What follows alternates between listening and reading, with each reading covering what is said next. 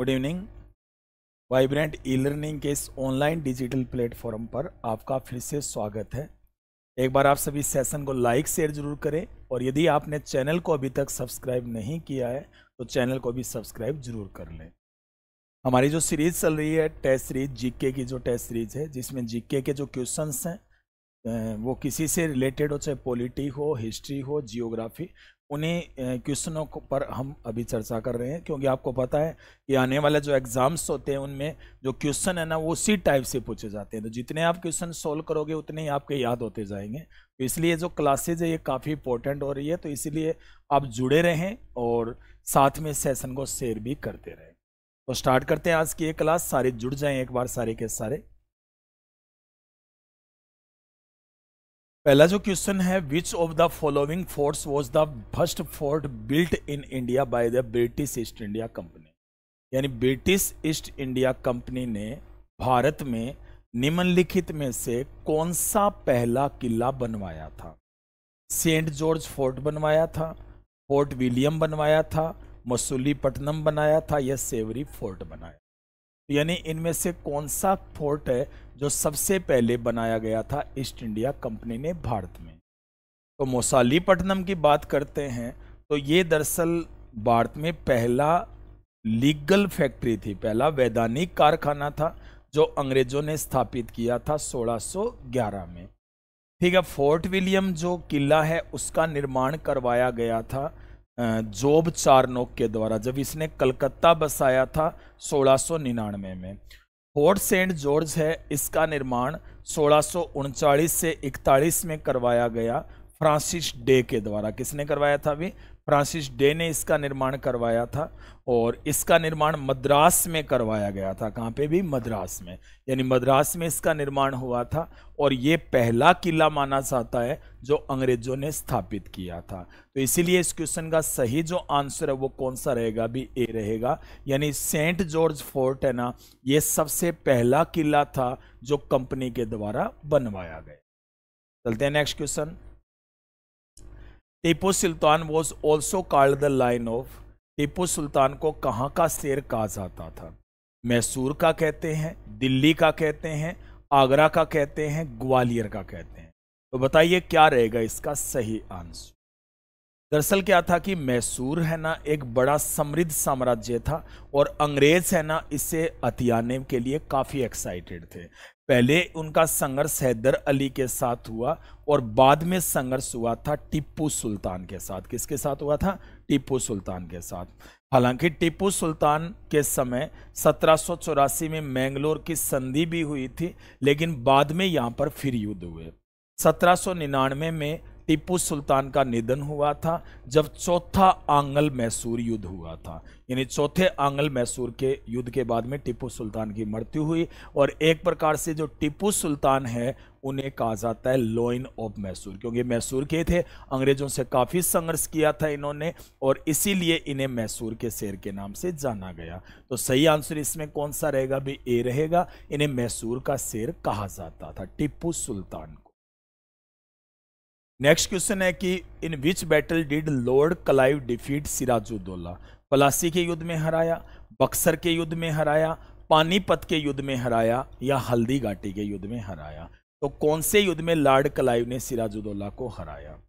हल्दी घाटी का जो युद्ध है, ये अकबर और महाराणा प्रताप के मध्य हुआ था, और ये हुआ था भाई पंद्रह में।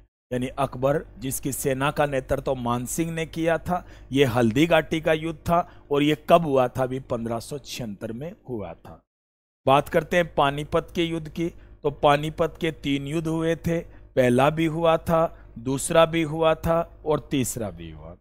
पहला हुआ 1526 में, दूसरा हुआ 1556 में और तीसरा फिर हुआ 1761 में। पहले में बाबर ने हराया इब्राहिम लोदी को, दूसरे में अकबर ने हराया हेमू को, और तीसरे में अहमद शाह अब्दाली ने हराया मराठों को। तो ये तीनों ही युद्ध काफ़ी महत्वपूर्ण माने जाते हैं, जो पानीपत में लड़े गए थे। इसके बाद में बक्सर के युद्ध की बात करते हैं तो बक्सर का जो युद्ध जीता था, एक अंग्रेज़ अधिकारी, जिसका नाम था हेक्टर मुनरो ने। और ये जो युद्ध है, ये सत्रह में हुआ और इस युद्ध में हेक्टर मुनरो के द्वारा तीन सेनाओं को डिफीट किया गया था। एक तो बंगाल की सेना थी, एक अवध की सेना थी और एक थी मुगलों की सेना। यानी तीनों सेनाओं को हराया गया था। किसके द्वारा भी? एक्टर मुनरो के द्वारा। पलासी का जो युद्ध है, ये सत्रह सौ सत्तावन में लड़ा गया और इसमें जो लार्ड कलाइव है उसने नवाब सिराजुद्दौला को पराजित किया था। तो इस क्वेश्चन का सही आंसर कौन सा रहेगा? भी ए रहेगा, यानी बैटल ऑफ़ प्लासी जो था वो यहाँ पर लड़ा गया था सिराजुद्दौला और कलाइव के मध्य, और इस युद्ध में लॉर्ड कलाइव था, वो विनर था। एक्चुअल में इसी युद्ध के बाद में, भारत में यदि अपने बात करें तो अंग्रेज़ी साम्राज्य की स्थापना हुई थी। यानी भारत में अंग्रेज़ी साम्राज्य की जो स्थापना है, वो इसी युद्ध के बाद हुई। कौन से युद्ध के बाद भी? प्लासी के युद्ध के बाद ठीक है?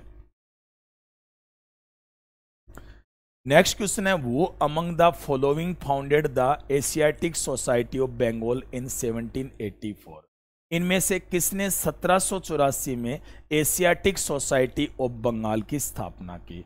हेनरी विवियन डेरोजियो ने द्वारका नाथ टैगोर ने राजा राम मोहन राय ने सर विलियम जोन्स ने।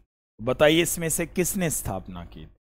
हेनरी विवियन डेरोजियो की बात करें तो ये बंगाल में पुनर्जागरण के जनक माने जाते हैं। यानी बंगाल में पुनर्जागरण का जनक कहते हैं भाई Henry Vivian Derozio. Dwarka Nath Tagore कौन थे? द्वारका नाथ टैगोर दरअसल जुड़े हुए थे ब्रह्म समाज से। कौन से समाज से? ब्रह्म समाज से ये जुड़े हुए थे। ठीक है, राजा राम मोहन राय है, ये ब्रह्म समाज के संस्थापक थे। फाउंडर थे कौन भी? Raja Ram Mohan Roy.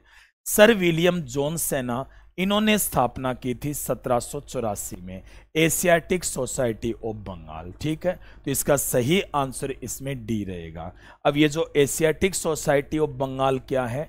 इसकी स्थापना कलकत्ता में हुई थी भाई, ठीक है? और इसे वर्तमान में कोलकाता संग्रहालय के नाम से जाना जाता है। यानी इसकी स्थापना कहाँ पे हुई थी? कलकत्ता में, और प्रजेंट में इसे कोलकाता म्यूज़ियम के नाम से जाना जाता है। ठीक है, ये जो एशियाटिक सोसाइटी ऑफ़ बंगाल थी, इसका मकसद था कि भारत में जो आर्कियोलॉजिस्ट चीज़ें हैं ना, उनका अध्ययन करना, पुरातात्विक चीज़ों का अध्ययन करना। बाद में क्या हुआ कि 1861 में अलेक्जेंडर कन्नीगम ने, किसने भी? अलेक्जेंडर कन्नीगम ने एक पुरातत्व विभाग की स्थापना की। कौन से विभाग की? पुरातत्व विभाग की स्थापना की। और इस विभाग की स्थापना दिल्ली में की गई थी और इसके अध्यक्ष बने थे अलेक्जेंडर कन्नीगम। इसके पहले अध्यक्ष कौन थे? Alexander Cunningham. बाद में क्या हुआ कि 1904 में लॉर्ड कर्जन के समय एक विश्वविद्यालय अधिनियम आया था, जिसके बाद में यहाँ पर पुरातत्व संरक्षण एक प्रकार से अलग से यहाँ पर डिपार्टमेंट की शुरुआत की गई। उसके बाद में ये जो पुरातत्व विभाग था, इसके अध्यक्ष थे जॉन मार्शल, जब सिंधु सभ्यता की खोज हुई थी 1921 में। यानी जब सिंधु सभ्यता की खोज हुई ना 1921 में, तब इस आर्कियोलॉजिस्ट डिपार्टमेंट के प्रेसिडेंट थे जॉन मार्शल। बाद में जब भारत को स्वतंत्रता मिली उन्नीस सौ सैंतालीस में, तब इसके जो अध्यक्ष थे, वो थे मार्टिमर विल्लर। यानी पुरातत्व विभाग के अध्यक्ष कौन थे भी? मार्टिमर विल्लर थे। जब भारत आज़ाद हुआ। तो ये इसलिए याद रखना है क्योंकि एशियाटिक सोसाइटी ऑफ़ बंगाल है, ये पुरातत्व, आर्कियोलॉजी से ही संबंधित तो इस क्वेश्चन का सही आंसर इसमें डी रहेगा। कौन सा रहेगा? डी रहेगा। अगला क्वेश्चन है कि which is the first Hindi newspaper of India यानी भारत का जो पहला जो हिंदी न्यूज़पेपर है, वो इनमें से कौन सा माना जाता है? ठीक है, उड़ान, आज़ाद विचार, उदंड मारतंड या विचार। यदि अपने बात करते हैं तो भारत का सबसे पहला जो समाचार पत्र था, वो था बंगाल गजट। ये मैंने आपको बताया भी था, बंगाल गजट 1780 में, ठीक है, जेम्स सिक्की के द्वारा, ठीक है, ये पहला था कलकत्ता से। उसके बाद में पहला जो भारत का जो हिंदी समाचार पत्र है उसकी यदि अपन बात करें तो ये 1826 में आया था और इसे कलकत्ता से प्रकाशित किया गया। कहाँ से भी? कलकत्ता से इसे प्रकाशित किया गया था और इसके जो संपादक थे, वो थे जुगल किशोर। क्या नाम था? जुगल किशोर। और ये था उदंड मारतंड। ठीक है ना? उदंड मारतंड, ये था इनका समाचार तो ये भारत का पहला समाचार पत्र माना जाता है और ये साप्ताहिक था। क्या था भी साप्ताहिक था। वैसे भारतीय समाचार पत्र जो कि दैनिक था, वो इंडियन मिरर था। सबसे पहला कौन सा था? Indian Mirror. ये दैनिक था, क्योंकि ये साप्ताहिक था और इंडियन मिरर के लिए योगदान जाता है देवेंद्र नाथ टैगोर और उनका सहयोग किया था केशव चंद्र सेन ने। ठीक है? नेक्स्ट है, who among the following started the Marathi fortnightly newspaper Bahishkrit Bharat.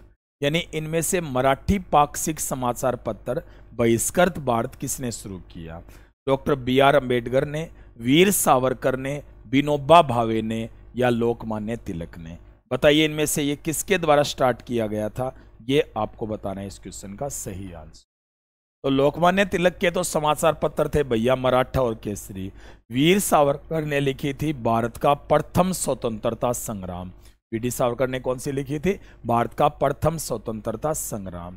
जबकि विनोबा भावे है ना, ये दरअसल गांधी के प्रथम सत्याग्रही माने जाते हैं और इन्होंने एक आंदोलन भी चलाया था, भूदान आंदोलन। कौन सा था भी भूदान आंदोलन भी इनके द्वारा चलाया गया। डॉक्टर बी आर अंबेडकर ने क्या किया था कि 1924 में इन्होंने बम्बई में, कहाँ पे भी बम्बई में इन्होंने एक सभा बनाई थी, बहिष्कृत हितकारिणी सभा।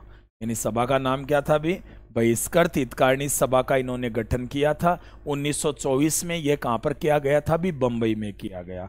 और ये जो सभा थी, इसका मुख्य लक्ष्य था छुआछूत को दूर करना। यही इसका मेन एम था। ठीक है? तो इसका सही आंसर इसमें ए रहेगा, क्योंकि जब इस सभा का गठन किया गया, तभी इन्होंने समाचार पत्र की शुरुआत की, कौन से समाचार पत्र की? बहिष्कृत भारत की। तो सही आंसर इस क्वेश्चन का कौन सा आएगा? भी ए रहेगा इसका सही आंसर। अगला क्वेश्चन है कि who among the following Indian revolution रेवलरीज contemplated armed rebellion against the British with the help of Germany. यानी भारतीय क्रांतिकारियों में से कौन थे जिन्होंने जर्मनी के सहयोग से अंग्रेज़ों के खिलाफ सशस्त्र विद्रोह का विचार किया? हालाँकि यह सफल रहा था। ठीक है, खुदीराम बोस है, वो तो आपको पता है कि काफ़ी युवावस्था में शहीद हो गए थे, भारत में ही थे। अस्पाकुल्ला खां काकोरी कांड में के कारण उन्हें फांसी दी गई थी। पर फूल चाकी जो कि बंगाल में क्रांतिकारियों में जुड़े हुए थे खुदीराम बोस के साथ ही तो थे ना प्रफुल्ल चाकी ठीक है? और बागा जतीन ये सही है अभी। बागा जतीन थे ना, उन्होंने जर्मनी के सहयोग से ये करने, क्योंकि जर्मनी और ब्रिटेन में तो आपस में प्रथम विश्व युद्ध के बाद में ही विवाद चल रहा था तो इसीलिए किया था, लेकिन ये सक्सेस नहीं हो पाए ठीक है? तो इसका सही आंसर इसमें कौन सा रहेगा? सी रहेगा। In which of the following battles did Maulvi Ahmadullah Shah defeat the army led by Henry Lawrence यानी कौन सी लड़ाई में मौलवी अहमदुल्ला खान ने हेनरी लॉरेंस के नेतृत्व वाली सेना को पराजित चिन्नट के युद्ध में किया था, नजफखट के युद्ध में किया था किंतौर के युद्ध में किया था, सारागढ़ी के युद्ध में बताइए इसका सही आंसर क्या रहेगा? तो यदि अपन बात करते हैं अहमदुल्ला खां की तो अहमदुल्ला खां है ना उन्होंने अंग्रेज़ों के खिलाफ विद्रोह किया था फैजाबाद में। कहा किया था भी फैजाबाद। और फैजाबाद को प्रजेंट में क्या कहते हैं? अयोध्या कहते हैं। यूपी में पड़ता है। तो यहाँ पर इन्होंने नेतृत्व किया। मौलवी अहमदुल्ला खां हैं। उन्होंने ईसाइयों के खिलाफ जेहाद का नारा दिया था। यानी ईसाइयों के विरुद्ध इन्होंने कौन सा नारा दिया था भी जेहाद का नारा दिया था, मौलवी अहमदुल्ला खां ने दिया था। ठीक है? तो ये जो मौलवी अहमदुल्ला खां है ना, उन्होंने चिन्नट के युद्ध में, जो यूपी में पड़ता है, जो अठारह सौ सत्तावन की क्रांति के समय हुआ तो इसमें हेनरी लॉरेंस के नेतृत्व वाली सेना है, उसे पराजित कर दिया था। याद रखना है कि इस युद्ध का नेतृत्व मौलवी अहमदुल्ला शाह नहीं कर रहे थे, बल्कि बरकर अहमद ने किया था। यानी बरकर अहमद के द्वारा इस युद्ध का नेतृत्व किया गया। तो इस क्वेश्चन का सही आंसर इसमें कौन सा रहेगा भी? ए रहेगा, कौन सा युद्ध हुआ था? ये चिन्हट का युद्ध हो।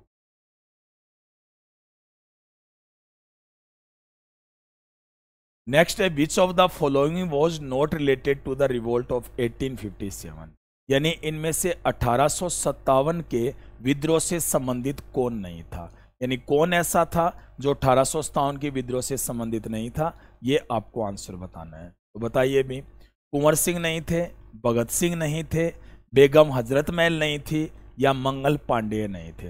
यानी इनसे संबंधित इनमें से कौन नहीं थे, ये आपको आंसर बताना है। तो यदि अपन बात करते हैं कुंवर सिंह की तो कुंवर सिंह को बिहार का शेर भी कहते हैं और इन्होंने नेतृत्व किया था कहाँ से? बिहार में। ठीक है ना? हालाँकि जगदीशपुर से किया था, जो प्रजेंट में झारखंड में पड़ता है। तो यहाँ पर इन्होंने क्रांति की नेतृत्व किया।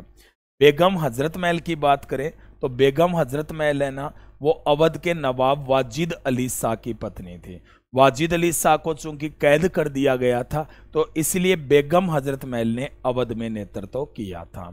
मंगल पांडे की बात करते हैं तो जो मंगल पांडे है उन, वो क्रांति के पहले शहीद माने जाते हैं। इन्होंने चर्बी वाले कारतूसों का विरोध किया था बैरकपुर छावनी में, जो बंगाल में है। और मंगल पांडे है, उन्हें फिर फांसी दी गई थी 8 अप्रैल अठारह सौ सत्तावन को, जो क्रांति के पहले शहीद माने जाते हैं। जो शहीद भगत सिंह थे, वो कब आए थे? ये क्रांतिकारी युग में आए। ये अठारह सौ सत्तावन से संबंधित नहीं है, क्योंकि भगत सिंह है, वो एक्टिव हुए थे जब उन्होंने 1926 में नौजवान सभा का गठन किया। बाद में ये चंद्रशेखर आज़ाद के साथ जुड़ गए थे एच एस आर ए संगठन से, और 23 मार्च 1931 को इन्हें फांसी दी गई। तो ये सत्तावन की क्रांति से संबंधित नहीं थे तो सही आंसर इसमें कौन सा रहेगा? भी बी रहेगा। नेक्स्ट है कि on whose consultation does the president convene and adjourn all session of parliament राष्ट्रपति किसके परामर्श से संसद के सभी सत्र आयोजित और स्थगित करते हैं? अध्यक्ष के परामर्श से, प्रधानमंत्री के परामर्श से, प्रधानमंत्री और लोकसभा के विरोधी पक्ष के नेता से या मंत्री परिषद तो आपको पता है कि आर्टिकल 85 में क्या लिखा गया है कि राष्ट्रपति है ना वो संसद का जो सत्तर होता है, उसे आहूत कर सकता है और उसे समाप्त कर सकता है और साथ में लोकसभा को भंग भी कर सकता है। तो ये आर्टिकल पिचासी में। लेकिन इसके लिए प्रधानमंत्री को सलाह देंगे कौन, सॉरी, राष्ट्रपति को कौन सलाह देंगे? प्रधानमंत्री। यानी प्रधानमंत्री की सलाह से ही करता है कौन भी राष्ट्रपति, कौन से आर्टिकल में उल्लेख है 85 एक्चुअल में यदि अपन बात करते हैं तो वैसे संसद का सत्तर है ना, वो बुलाता तो राष्ट्रपति है, लेकिन संसद का जो सत्तर है, उसे संचालित कौन करते हैं भी लोकसभा अध्यक्ष या राज्यसभा के सभापति। ठीक है, संसद का सत्तर जो है ना, वो एक प्रकार से स्थगित है ना, वो तो करता है राष्ट्रपति, लेकिन संसद की जो कार्रवाई होती है सेशन की, वो कौन स्थगित करते हैं? लोकसभा अध्यक्ष और सभापति। ठीक है? इसका सही आंसर इसमें बी रहेगा, क्योंकि किसके परामर्श से किया जाता है भी प्रधानमंत्री के परामर्श से। ठीक है?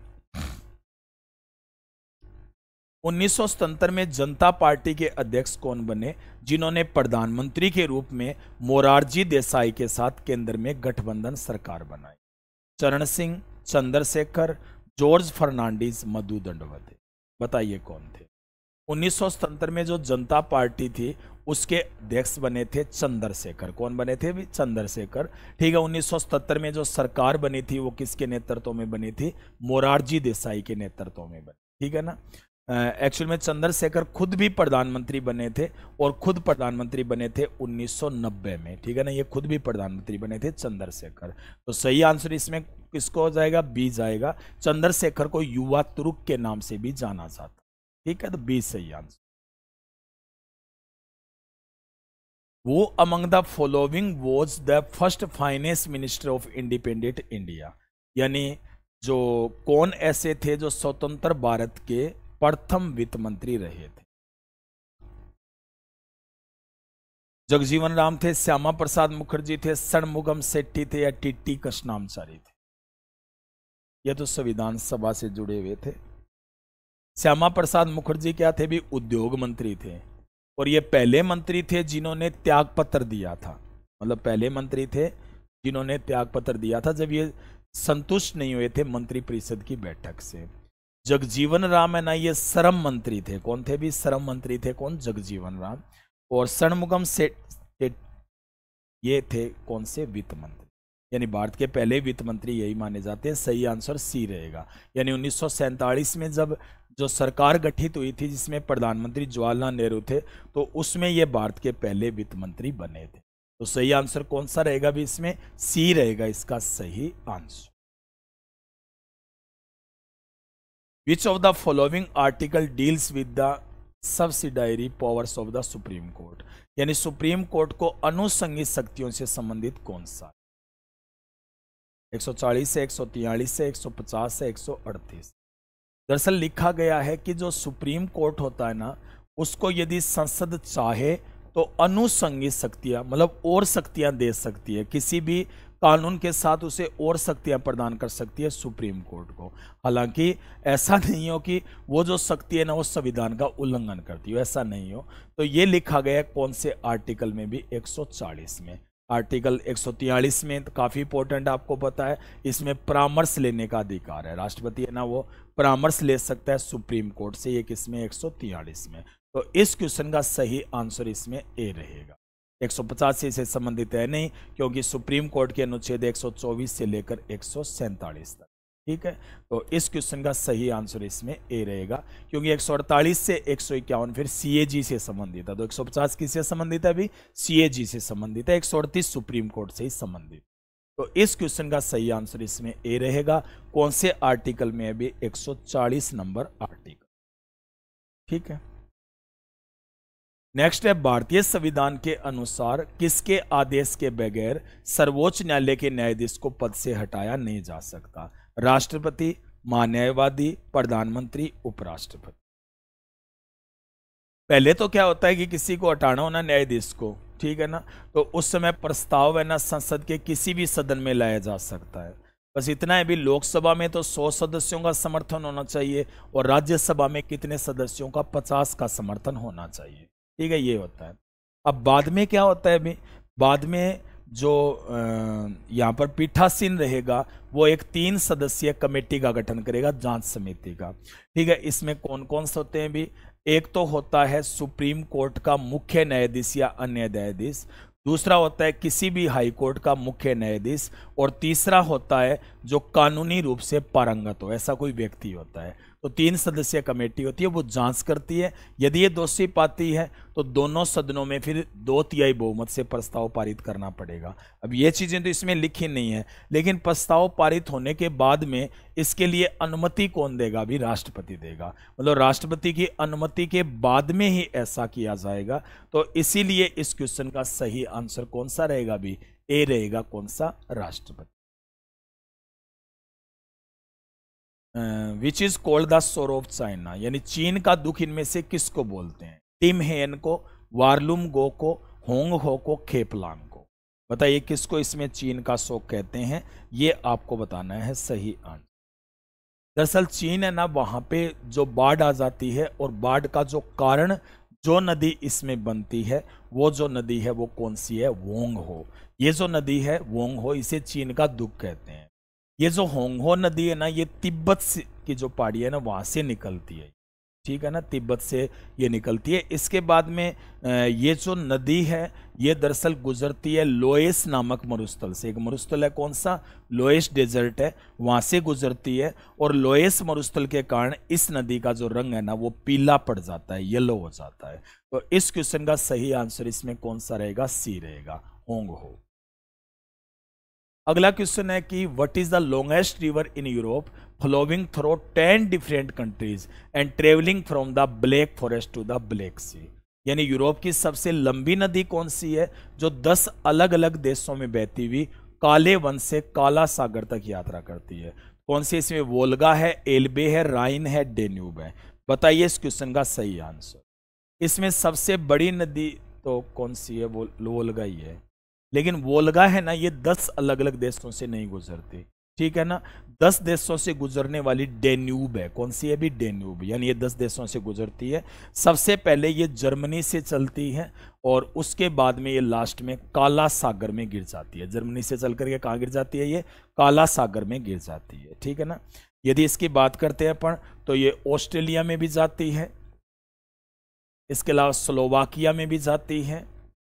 इसके बाद में, स्लोवाकिया के बाद में ये हंगरी में जाती है, हंगरी के बाद में क्रोशिया भी जाती है, फिर ये जाती है सर्बिया में, सर्बिया के बाद में ये दरअसल जाती है रोमानिया, सर्बिया के बाद में कहाँ जाती है ये? रोमानिया जाती है, और उसके बाद में ये जाती है बुल्गारिया में, बुल्गारिया से सीधी जाती है मेलडोवा, और मेलडोवा से आती है यूक्रेन और यूक्रेन से गिर जाती है काला सागर। तो कितने देश हो गए? एक, दो, तीन, चार, पाँच छः सात, आठ, नौ, दस। ठीक है ना? तो ये दस देश हो गए। ठीक है ना? ये दस देश है ना? इनमें से ये गुजरती ठीक है? चार और छः दस देश। काला सागर में गिरती है, कोई देश नहीं है। तो इस क्वेश्चन का सही आंसर डी रहेगा। डेन्यूब नदी है वो। नेक्स्ट क्वेश्चन आपके सामने कि where are open grassland velds found घास के खुले मैदान वेल्स कहाँ पाए जाते हैं? ऑस्ट्रेलिया में पाए जाते हैं, अफ्रीका में पाए जाते हैं, एशिया में पाए जाते हैं या अमेरिका में पाए जाते हैं? बताइए इसका सही आंसर क्या रहेगा? दरअसल ये जो वेल्डस है ना, ये समशीतोषण घास होते हैं। कैसे होते हैं? समशीत प्लस उष्ण। समशीतोषण ग्रास होता है ये, और ये जो है ना, ये अफ्रीका में पाया जाता है। यानी कहाँ पे पाया जाता है? ये अफ्रीका में समशीतोषण घास। तो इसका सही आंसर इसमें कौन सा रहेगा? भी बी रहेगा। यानी बी इस क्वेश्चन का सही आंसर है कौन सा? भी अफ्रीका। हर्बिसाइड एक क्या है? जिसका उपयोग अवांछित पौधों को नष्ट करने के लिए किया जाता है। यानी इसमें क्या है जिसका प्रयोग करते हैं?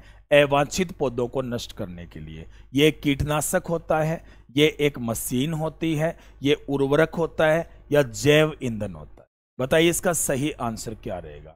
अब अवांछित पौधे समझ गए ना आप किसको बोलते हैं? खरपतवार को बोलते हैं। जो खरपतवार होते हैं ना, जो अवांछित, ये साख भी बोल सकते हैं इन्हें, खरपतवार भी बोल सकते हैं। और इनके द्वारा ही इनको नष्ट करने के लिए इसका प्रयोग किया जाता है, किसका? हर्बिसाइड का। ठीक है? तो हर्बिसाइड है ना, ये नष्ट करेगा। तो नष्ट है ना, हमेशा कीटनाशक ही करते हैं। कभी उर्वरक नहीं करते, उर्वरक तो बढ़ोतरी करते हैं किसी में। ठीक है? तो इसका सही आंसर इसमें कौन सा रहेगा? ए रहेगा। यानी इसमें सही आंसर कीटनाशक रहेगा। ए इस क्वेश्चन का सही आंसर उसके बाद में रेड डाटा बुक कीजिए। रेयर डॉक्यूमेंट ऑफ़ एनी एंग्रेज स्पीसीज यानी लुप्त जो प्रजातियाँ होती है उनके लिए दुर्लभ दस्तावेज़ रेड डाटा बुक होती है। तो उनमें क्या क्या होता है? वनस्पति होती है, या जीव जंतु होते हैं, या अन्य जीवित जीवों के लिए होती है, या सारे ही इसमें होते हैं। बताइए, किसके लिए जो रेड डाटा बुक है ना, इसमें आंकड़े डाटाज है, वो डाले जाते हैं। तो रेड डाटा बुक की यदि अपन बात करें तो रेड डाटा बुक है ना, ये दरअसल IUCN के द्वारा जारी की जाती है। किसके द्वारा? IUCN के द्वारा इसे जारी किया जाता है, यानी इसे कह सकते हैं हम इंटरनेशनल यूनियन ऑफ़ कंजर्वेशन ठीक है ना? ऑफ़ नेचर यानी इसे अंतर्राष्ट्रीय प्रकृति संरक्षण संघ कहते हैं। तो ये जो संघ है ना इसे रेड डाटा बुक यही जारी करता है और इसमें सभी का उल्लेख किया जाता है, चाहे वनस्पति है जीव जंतु कोई भी जंतु हो, सबका उल्लेख होता है जो लुप्त प्राय प्रजातियाँ होती है। तो इसका सही आंसर इसमें कौन सा रहेगा? भी डी रहेगा। यानी सभी के सभी इसमें क्या रहेंगे? भी सत्य रहेंगे। ठीक है तो आज ये की क्लास हुई। तो एक बार सभी सेशन को लाइक शेयर ज़रूर कर दीजिएगा और नेक्स्ट सेशन में शानदार प्रश्नों के साथ फिर आएँगे। चैनल को सब्सक्राइब नहीं किया तो सब्सक्राइब ज़रूर कर लें। सबको बहुत बहुत धन्यवाद। गुड नाइट शुभ रात्रि, सब खैर